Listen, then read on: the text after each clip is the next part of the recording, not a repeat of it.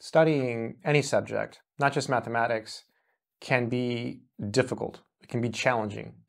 And when you're in college and you're taking upper level courses, it's hard to keep up, especially if you have a full course load.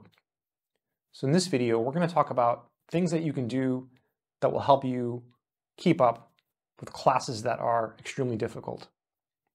This video is motivated by an email I received the subject is How to Keep Up in Fast and Difficult Classes. Hello, Math Sorcerer.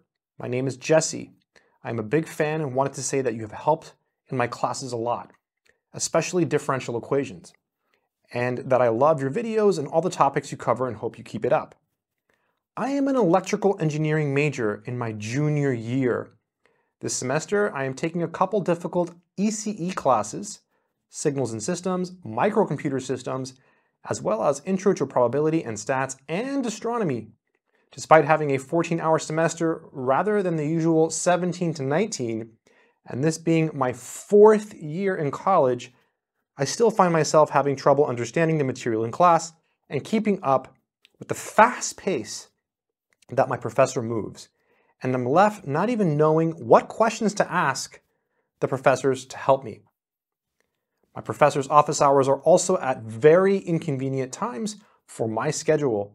My question is, do you have any advice on how to keep up with fast-paced classes?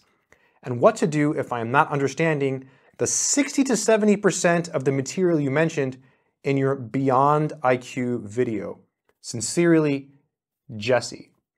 So first, let me just comment on the 60 to 70% uh, that Jesse is mentioning, because that's really cool um, that he's mentioning that because that is pretty much on average what I understood in most of my classes in college. And when I say most of my classes, I mean like in a math class, you know, if, if I went to class and I sat down, I would understand roughly on average 60 to 70% of the material that was being taught.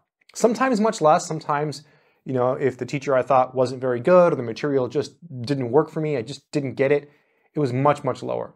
And sometimes I would understand 80 to 90%. Those were sensational courses where I felt like the teacher was amazing and everything just clicked.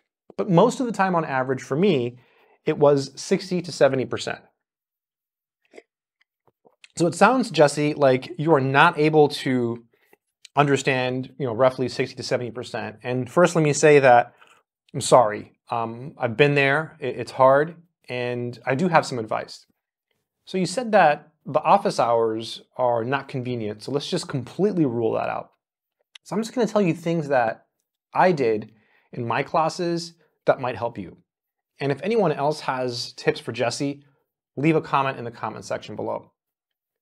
So for me, the things I would do in hard classes and in graduate school, so when I finished and I went on to grad school, were that right after class, I would immediately sit down and I would basically go over all of my notes again, right, right after class, as soon as possible.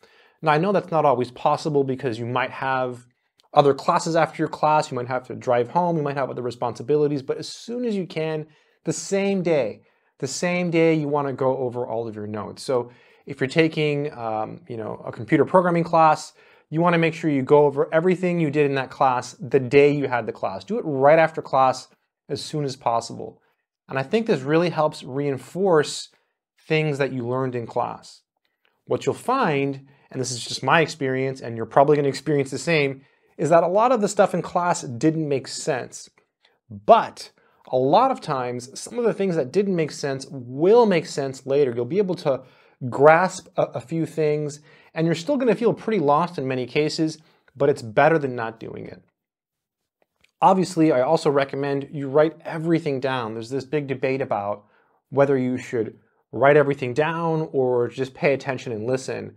I was always a person where I felt that I had to write everything down because I would try to pay attention and listen, but as I mentioned and as you mentioned in your email, on average I understood maybe 60 to 70%. So if I stood there and listened and didn't understand and maybe only understood 60 to 70%, well, what does that mean? Well, that means when I leave class, if I don't write something down, I'm still going to be lost. So writing things down at least gave me hope uh, give me the hope of actually figuring out what I didn't understand. So write everything down and then immediately after class, go over it again. So you mentioned office hours are out, so let's just keep that in mind. If you have the opportunity to somehow make it to office hours, that is huge. That is huge. Tutoring is probably also, I'm not gonna say it's not gonna work for you, but it's gonna be harder because in your situation, you are a fourth year student, you're taking advanced classes. Tutoring is typically available for lower level classes. So you're already, you know, you almost, you almost have your degree. So you're taking the hardest classes. Another thing you can do is try to find people in your class who are really smart and are also decent people to be around and try to work with others. That makes a big difference, especially if you have someone in your class who's really good. For example, when I was in physics, uh, we had a, a, lab component for the class. And there was this guy, he was very strange. Um, sometimes he would talk to himself in class, and I once heard him talking to himself in the bathroom. I don't think, you know, there was something wrong with him. And he was a nice guy, and he was in my group. And thanks to him, um, I did pretty well in the lab component in my physics class because he was pleasant to be around and he had like this knack for physics. Like he really understood everything and he explained stuff to us. And basically, I had a very, very smart group member in my physics lab.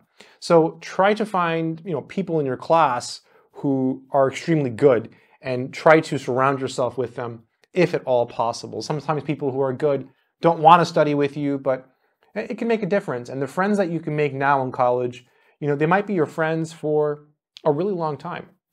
And it's a tough situation, the one you're in, because it's hard to get outside help for those classes. It really is. When you're in an advanced class, it's just hard to get help somewhere else. For example, if you were taking a partial differential equations class, it would be very, very hard to get help with that outside of class. It's just a little bit tougher. So those are some options I think that you have. Um, we have AI now, so you can ask AI for help.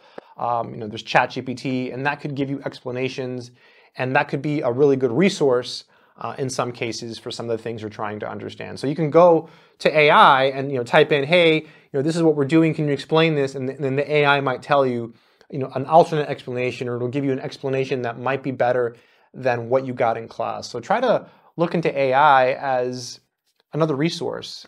You know, AI basically scans the internet, I guess, and you know has access to the internet, and it just gives you you know a better answer than a simple Google search. You know, when you when you search on Google, a lot of times you'll just get a couple results, but Google also now has like a, a generative AI search. You can do that as well, and that seems to work pretty well uh, sometimes. I still find that regular AI like ChatGPT seems to work better uh, for general questions uh, than just a regular Google search, so far at least. Anyways, those are some suggestions. So use AI, um, write everything down in class, and then after class, go over everything uh, that you did in class and just immediately uh, try to go over it again. And if possible, try to make friends in class or try to join study groups. You're in a tough situation because it's your fourth year and you're doing a hard major. You know, I think anyone who's doing any type of science, math major, and they're in their fourth year, it's going to be really, really hard to keep up. It's going to be really hard to hang on. And honestly, most of the time, like you said, it's, it's just really hard to understand everything. It's, it's tough. It's tough. If anyone else has advice for Jesse, please leave a comment in the comment section below. When you leave comments, it helps other people. Also, if you found any value in this content and you feel like you want to subscribe, feel free to hit the subscribe button if you want to, or if not, that's okay too. Also, I do have math courses on my website, mathsorcerer.com. They're actually on the Udemy platform, but if you decide to buy them, please use the links from my website as it helps me greatly. Also, I've lowered the price to be as low as possible, so I think you'll get a good price if you use my links. Oh, and I do have another channel. It's a fitness channel. It's called The Fitness Sorcerer. You can just search for it on YouTube, The Fitness Sorcerer, and I post all kinds of random stuff there, mostly fitness content. Hopefully this reply has been helpful to someone out there. When you're in your fourth year and you're studying something hard, it's hard. But again, take those notes, go over them immediately after class, you know, as soon as you can. This is something I did, especially in grad school. And I think it helped me tremendously because I did not want to be lost, especially in grad school. So worship those notes, go over them again, and then you can also email your professor too. And yeah, hopefully it's been helpful. Good luck. Keep doing mathematics.